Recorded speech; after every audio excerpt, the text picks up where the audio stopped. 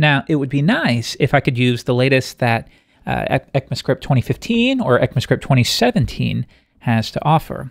So, for example, one thing that I really like in uh, ECMAScript 2015 is the class syntax.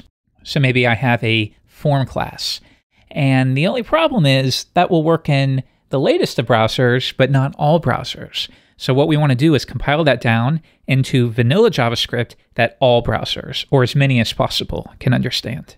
The only problem is right now, if we run that and we take a look, let's go down to the bottom. Yep, it's just taking exactly what we wrote. So it sounds like we need another loader to transform this code before bundling it up. Okay, well, we can use Babel for that. So you can go to babeljs.io. It stands to reason that you're already familiar with it. And you can see a few examples right here. Notice we're using the short function syntax, but that will transform to a traditional uh, long form function. Okay, so let's go to setup. And you can see for Webpack, and here we go. So we want to pull in the core of Babel, but then also the loader for Webpack. So let's copy that and paste this in. Next, you can see some usage examples here.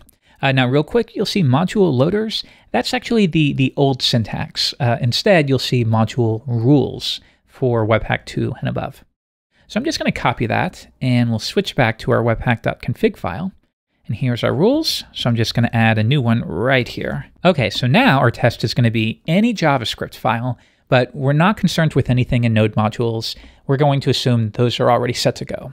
So we just want our main application JavaScript files, and we will transform them through the Babel loader. I'm going to run it again, but this can sometimes get confusing because we think it's working, but if we come back and scroll down, no, we still get the exact same thing as before. And that's because, well, yes, we've installed Babel Core, but we haven't been explicit about how we want it to transform. So we could reference specific presets or even uh, general plugins if you only want one or two things. So you'll notice install the preset you want and then create a Babel RC file to match. So let's scroll down and we're going to use ECMAScript 2015. And you can see it will include everything that we see here. And I definitely encourage you to read through these. You'll learn a lot of cool stuff. But anyways, we're going to come down to our plugins. And specifically, we want the ECMAScript 2015, or if you want to go up to 2017, you could do that as well uh, to get some of the more current cutting edge stuff. But nonetheless, this will do for now. So we can see in the install section, yep, just reference the preset we want. Then we create a .babelrc file that specifies our preset, babelrc, and I'll paste that in. We're going to use the ECMAScript 2015 preset that I just installed right here. Okay, so now I'm going to run it again, and this time it will change the output. So we check out bundle.js, and there we go. So take a look. We can come back and we could say for the constructor, I'm just going to alert, yay, form classes are great, no matter what JavaScript developers say. Okay, so we will new up our form and then compile this down one more time. And finally, if we open this up in the browser, there we go, it's working.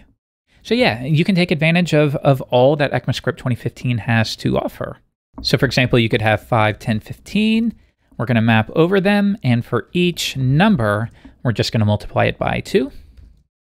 And we'll say let numbers. We're going to use the let syntax. And then finally, we will console.log that. Okay, so we compile that down.